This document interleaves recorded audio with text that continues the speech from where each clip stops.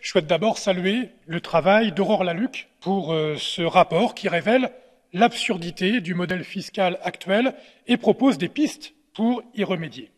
Franchement, comment accepter l'opacité dans laquelle les règles fiscales sont décidées dans l'Union?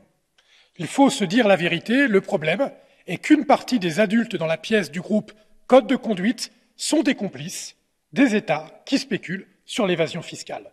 Le nouveau scandale des Pandora Papers illustre notre complicité de fait avec les voyous qui s'organisent pour échapper à l'impôt. Ce sont les mêmes qui sont responsables du blanchiment d'argent pour des réseaux mafieux et terroristes, ce sont les mêmes qui spéculent sur la prédation environnementale, le carbone, la déforestation ou la pêche industrielle. Nous devons pourchasser et supprimer les paradis fiscaux à l'intérieur et à l'extérieur de l'Union européenne. Il ne peut y avoir de justice climatique sans justice fiscale.